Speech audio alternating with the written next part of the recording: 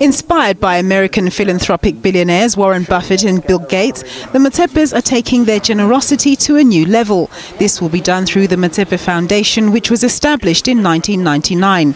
It's a recognition that uh, uh, people in my position, and, and, I in particular, have uh, a huge responsibility uh, to uh, South Africans who are less fortunate, uh, those who are unemployed, the poor, uh, marginalized and uh, to, to, to make a humble contribution to improve their lifestyles and living conditions.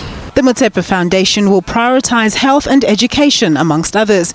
Self sustaining projects will also be identified. It's also important for us to make sure that the projects that we get involved with, um, we, we're able to do research um, and see what works, what doesn't work, and be able to also measure impact so that our, our involvement is uh, strategic and we can measure the outcomes. Motsepe said income generated from family assets like shares would be donated to the foundation, but he did not elaborate on just how much it would be giving away. Nompumelelo Siziba, SABC News, Johannesburg.